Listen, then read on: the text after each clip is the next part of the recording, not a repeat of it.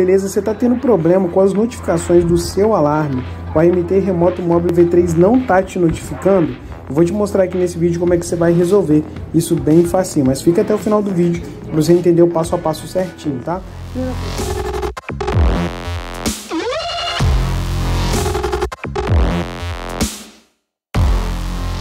Tá? Primeira coisa que você precisa entender é que no AMT Remoto Móvel V3, aqui dentro, a gente tem que configurar, na hora de você cadastrar aqui o seu alarme, você tem que configurar, ó, eu vou colocar aqui só para você entender. Você tem o MAC da central, você tem que configurar essa senha aqui, ó, de seis dígitos, tá? Lembrando que você só não vai precisar configurar essa senha de seis dígitos se o modelo da sua central for ANM24NET. Não sendo essa, qualquer outra central você vai precisar colocar a senha de acesso remoto que vem na tampa da sua central, beleza? Se não souber, procura lá a tampa, a central na tampa tem uma etiqueta com a senha de acesso remoto, também a senha master, beleza? Dito isso, o que, a gente vai fazer? A gente vai precisar ir nas configurações do, do celular, aí no caso você vai lá nas configurações do seu aplicativo, do seu celular, óbvio, clica nela e você vai procurar aqui na lupa a opção aplicativos. Então você vai digitar aqui aplicativos e vai vir logo nesse ícone aqui, ó, que é um ícone, um quadradinho com quatro bolinhas brancas dentro, né? Aqui, ó.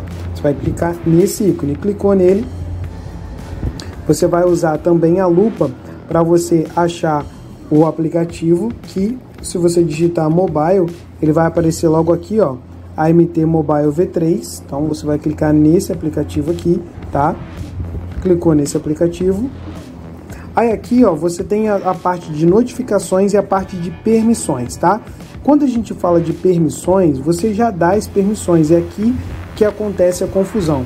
Quando você dá as permissões, o arquivo, o, o dispositivo ou o aplicativo já está com as permissões dadas, só que para ele mostrar notificações não é permissão que você precisa dar.